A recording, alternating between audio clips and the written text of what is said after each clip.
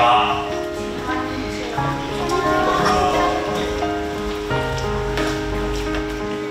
働くっていうのは大変失敗したら上司に怒られるとかなんかちょっと難しそうだな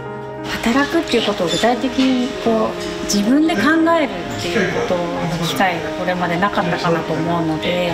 早めにそういう働くっていう気持ちっていうか概念を知ってもらえたらいいなと思って。仕事の話を皆さんにちょっとだけしていこうかなっていうふうに思ってます。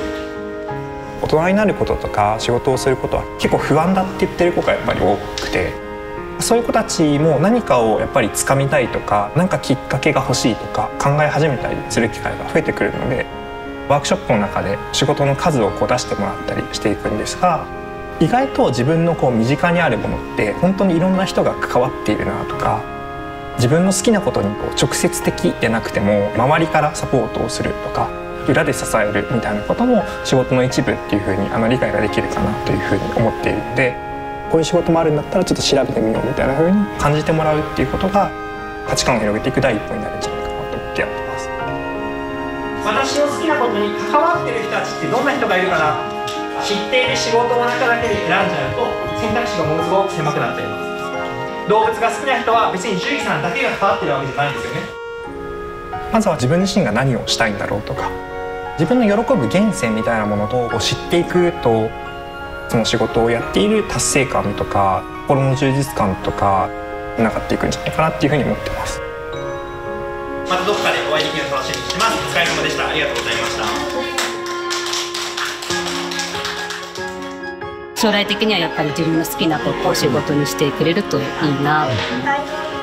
大人が見てても学ぶことが多かった。最初の働くこと大変なんじゃないかなと思ってたけど楽しいこともあるんだなありがとうとかで社会が成り立ってるのかなとなんか僕野球が好きで野球選手もやってみたいなと思ってて。でなんか野球のアナウンサーとかありかなと思って他の人からありがとうとか言われて働くすごい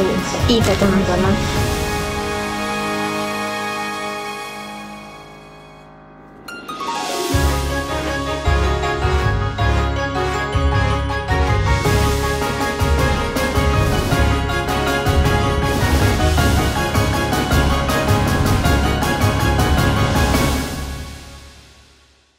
働いて笑おう。パーソル。